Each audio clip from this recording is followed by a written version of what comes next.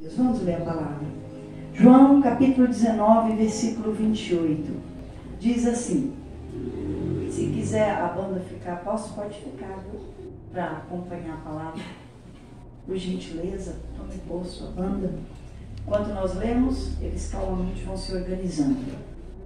Versículo 28 diz assim: Depois disso, sabendo que Jesus que já todas as coisas estavam terminadas para que a escritura se cumprisse. Disse: Tenho sede.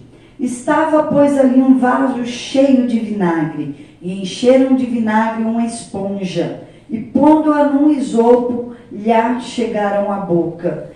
E quando Jesus tomou o vinagre, disse: Está consumado e, inclinando a cabeça, entregou o Espírito.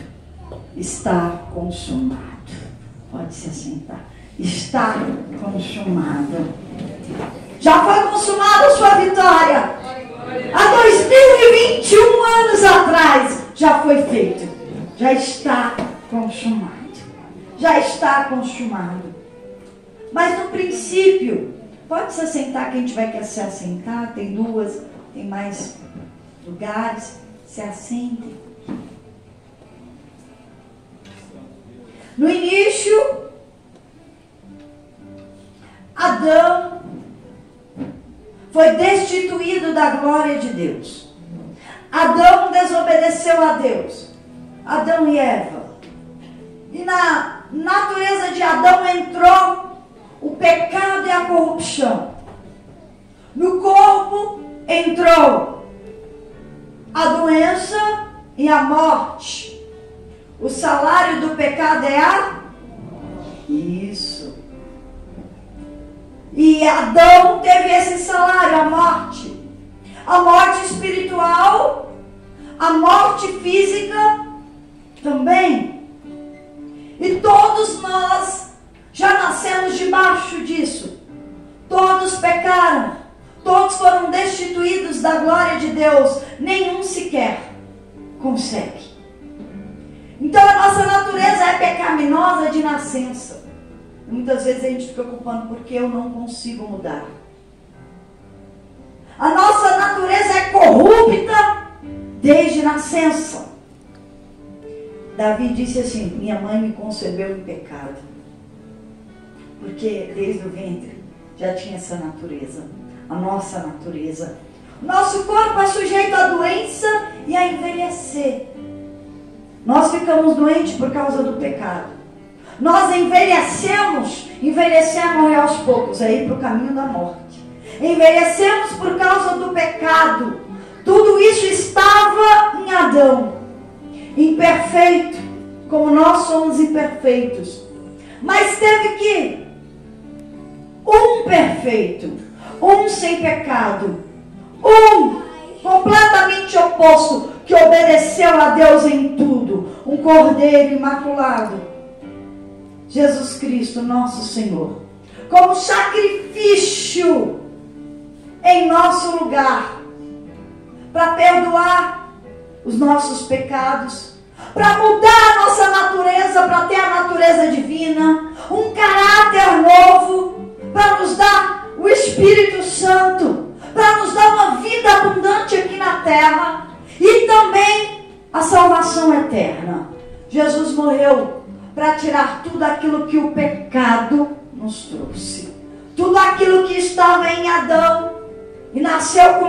você foi pago lá na cruz. Hoje você pode ser livre do pecado, você pode ser perdoado. Você pode ter uma natureza celestial, um caráter novo, segundo o caráter de Deus. Tem o Espírito Santo, o próprio Deus habitando em você. Você pode ter uma vida diferente aqui na terra, uma vida transformada, uma vida feliz e ser salvo do pecado, do inferno e da morte. Porque Jesus ele venceu. Se Adão teve um salário como morte, aquele que está em Cristo tem o salário da vida. Se Adão tem doença e coisas ruins, como salário, como herança, em Cristo nós temos uma vida vitoriosa, uma vida diferente em Cristo,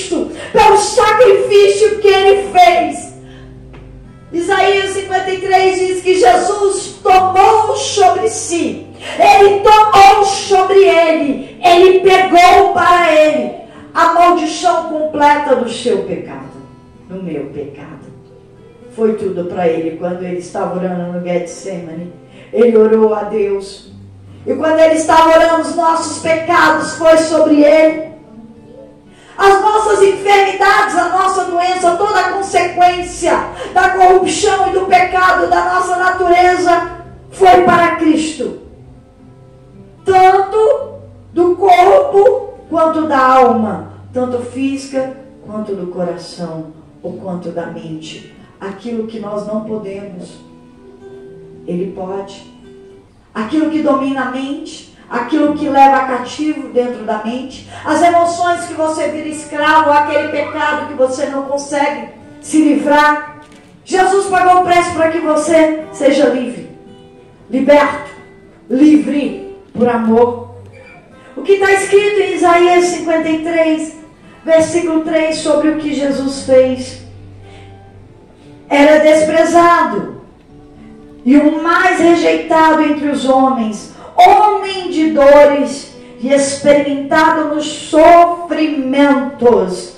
Sofrimento é o estágio avançado de uma dor, quando a profunda se chama sofrimento.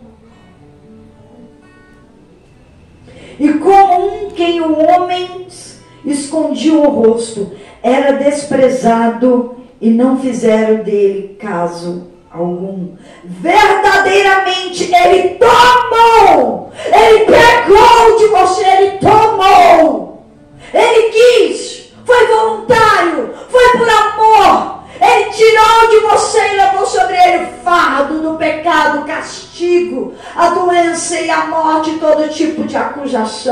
Jesus tomou sobre si as nossas enfermidades, as nossas dores físicas e da alma. Ele levou sobre si.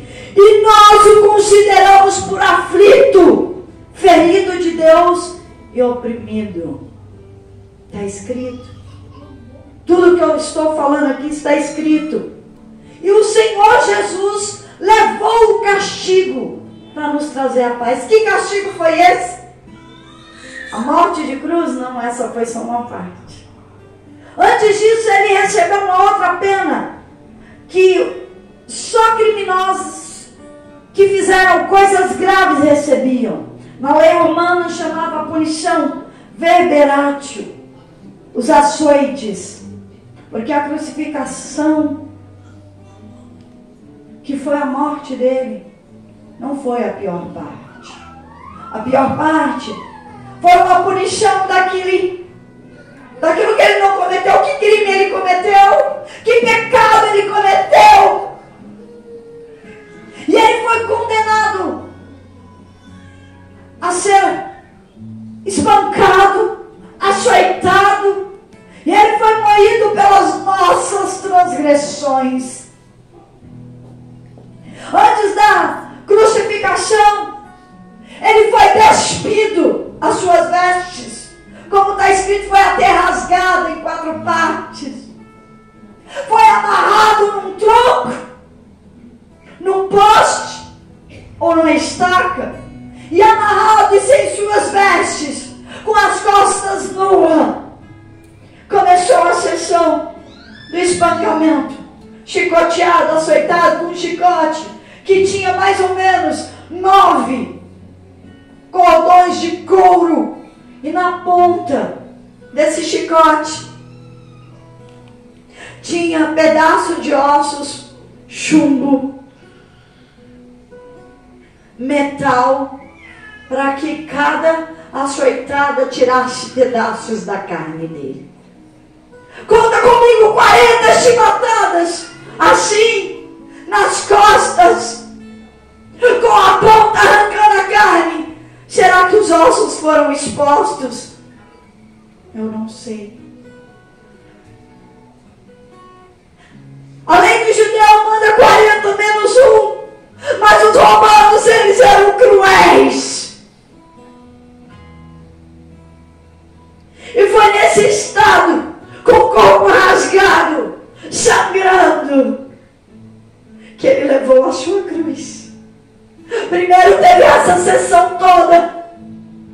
Ele foi moído realmente pelas nossas transgressões. Isaías 53, 5 diz assim: Mas ele foi ferido por causa dos nossos pecados, pelas nossas transgressões. Ele foi ferido dessa forma. E foi moído. Sabe o que é moído? As costas dele tiraram pedaços de carne. Ficou moída a sua carne. Não tinha mais carne, tinham buracos. Buracos.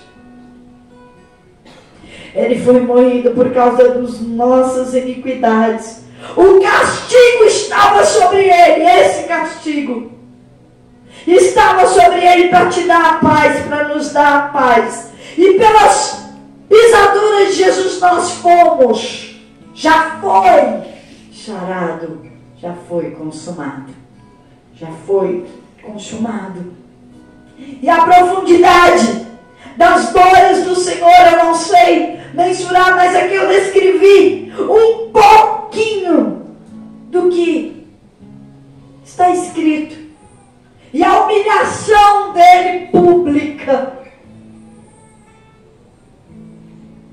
E ele foi considerado aflito e ferido de Deus e oprimido.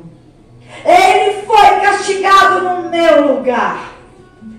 Eu merecia. Você merecia. Jesus não merecia. Mas ele quis, ele foi voluntário, porque desde que o mundo foi criado, já existia um plano de resgate para você. Antes que você nascesse, já tinha um plano de Deus na sua vida. Um plano de amor, um plano de resgate. E onde nós vemos esse plano foi finalizado. O qual era o plano? De salvação, de perdão, de vida nova, de transformação, de devolução da sua alegria, de restituição da sua vida, um plano novo. E quando Jesus disse: "Está consumado", que quer dizer ao pé da letra, completamente acabado, completamente pronto. O que está completamente pronto está pago completamente o preço pela sua vida. Está pago agora o preço pelos seus pecados. Quando ele disse está consumado, ele disse está feito, já fiz a obra completa na sua vida. Quando Jesus disse está consumado, ele falou está pronto, finalizado, completamente pronto. O propósito que eu vim eu cumprir. Perfeitamente na vontade de Deus por você. Eu fiz aquilo que você não consegue. Jesus é perfeito naquilo que você é imperfeito. E Ele te dá, Ele dá, já está pronto. É só você receber assim. Porque eu não entendo esse amor. Eu não entendo o que Ele fez. Eu não faria o que Ele fez. Eu não entendo. Porque eu não consigo compreender.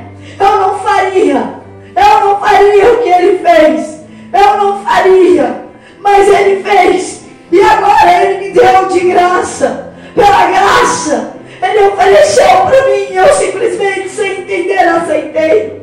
Eu simplesmente aceitei, eu recebi. Eu recebi o perdão pelos meus pecados. Eu recebi a paz dentro da minha mente, na minha vida, na minha casa. Eu simplesmente recebi a alegria nova no lugar da tristeza. Eu recebi a felicidade nessa terra. Foi isso que Ele nos deu na cruz. Não aceite, não aceite sofrer, não aceite ser condenado, não aceite o diabo dizer na sua mente: você não é justo, você é indigno, você não pode. Não aceite que nada roube a tua paz, nem a tua alegria. Não tem preço, porque o preço foi pago na cruz. A paz não tem preço, a alegria não tem preço, a felicidade não se compra, se recebe de graça. Se recebe de graça. Completamente a nossa vitória está pela fé em Deus. Mas tem algo que eu quero falar nessa fé. Se você não tiver desfalecido, se você não tiver desistido, você vai receber essa paz, essa vitória e essa vida. Porque também está escrito, Hebreus capítulo 10, versículo 36, porque necessita de perseverança, perseverança, continuar, fidelidade ao propósito de Deus que é Jesus Cristo. Para depois, feito tudo na vontade de Deus, alcançar a promessa. Essa promessa está na cruz, mas precisa perseverar, precisa fazer na vontade de Deus para alcançar o que você espera, para alcançar essa paz, esse amor, para alcançar a vida abundante aqui na terra. Porque eu só alcancei quando eu conheci Jesus, entreguei a minha vida para Ele e o obedeci. Aí eu herdei. Isso é minha herança é meu por direito, adquirido naquela cruz. Quando ele disse está consumado, eu falei é meu, eu quero, eu tomo posse, eu herdei, me dá o que é meu, me dá o que é meu, eu recebi a minha salvação, agora eu quero a minha vida abundante.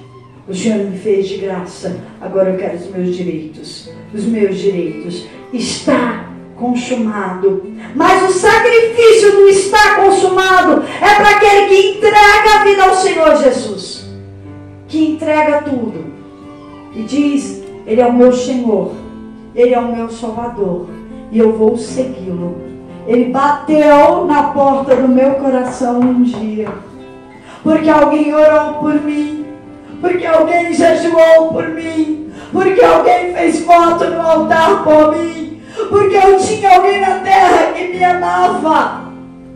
Alguém que se importou com a minha vida. Como eu imagino que alguém se importa com a sua, porque você está aqui. Alguém te amou também aqui na terra. Alguém te ama aqui na terra. Alguém se importou e um dia te convidou. Um dia me convidou também. E quando me convidou, eu rejeitei, mas um dia eu precisei em sofrimento e eu disse: Me leva, eu vou. E ele me levou, o meu irmão me levou. Ele me levou há 17 anos atrás e eu conheci Jesus. E eu abri a porta do meu coração. Imagina que orgulho eu abri, ele tinha que me provar que ele era Deus, eu tinha que me provar. Você acha que falando tudo isso ia me convencer? Mas um dia eu não tinha mais chão, não tinha mais nada. Eu não tinha outra alternativa. E quando eu ouvi uma palavra, eu entreguei a minha vida. E não quero de volta. E quando eu entreguei, eu recebi. Eu não sabia, não era eu que estava entregando a vida, era eu que estava recebendo vida. Eu estava entregando a minha tristeza e recebendo alegria. Eu estava entregando os meus problemas e recebendo vitória. Eu estava entregando a minha confusão e a minha preocupação. E eu estava recebendo a solução. E 17 anos se passaram. E agora chegou a sua vez chegou a sua vez de ouvir uma palavra dessa, entregar a sua vida e seguir a Jesus. Para tomar posse de tudo isso. Ele está batendo assim, ó. Na porta do seu coração agora. Se você abrir. Ele vai entrar. Se você abrir, ele vai transformar. Se você abrir, Ele vai fazer você prosperar.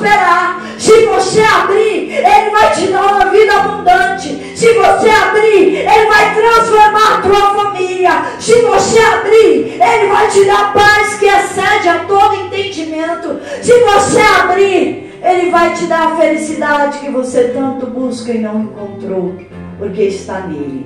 porque por Ele e para Ele foram feitas todas as coisas, e sem Ele nada podeis fazer. Amém? Fique de pé, porque Jesus está batendo na porta do seu coração.